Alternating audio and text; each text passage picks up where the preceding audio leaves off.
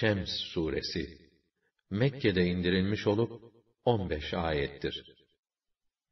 Adını ilk ayetinde geçip güneş anlamına gelen şems kelimesinden almıştır.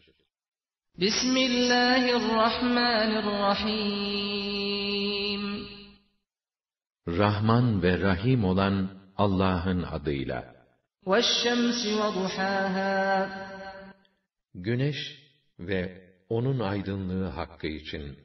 وَالْقَمَرِ إِذَا تَلَاهَا وَالنَّهَارِ إِذَا جَلَّاهَا وَاللَّيْلِ إِذَا يَغْشَاهَا Onu izlediği zaman ay hakkı için, dünyayı açığa çıkaran gündüz, onu bürüyüp saran gece hakkı için, وَالسَّمَاءِ وَمَا بَنَاهَا وَالْأَرْضِ وَمَا طَحَاهَا.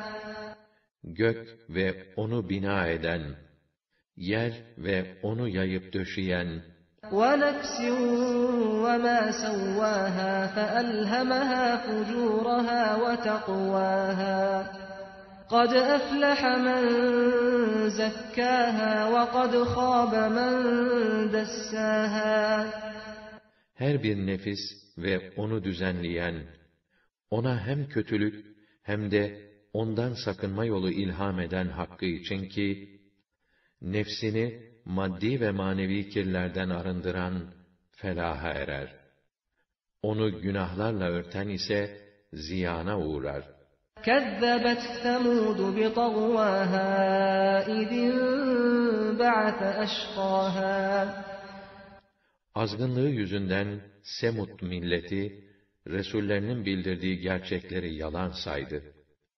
Bir ara, onların en azılı olanları öne atıldığında, bu yalanlamaları iyice şiddetlendi. فَقَالَ لَهُمْ رَسُولُ اللّٰهِ نَاقَةَ اللّٰهِ وَسُقْيَاهَا Elçileri ise kendilerine, mucizevi olarak verilen Allah'ın devesini ve onun su içme sırasını gözetin, ona dokunmayın, dedi.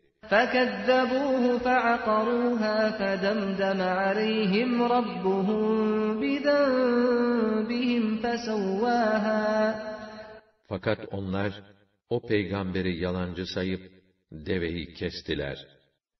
Allah da, böylesi suç ve isyanları sebebiyle, azap indirdi. Onları yerle bir etti. وَلَا يَخَافُ عُقْبَاهَا Bunun sonucundan da asla endişe etmedi.